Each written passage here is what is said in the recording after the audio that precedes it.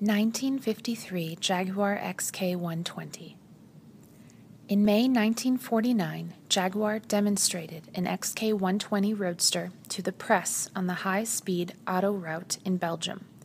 The road was closed for the occasion.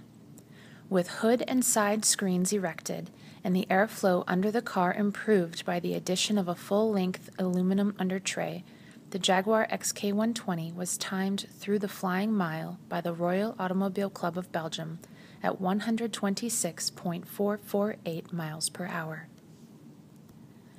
With hood, side screens, and windscreen removed, and a metal airflow deflector fitted in front of the driver, the speed improved to 136.596 miles per hour.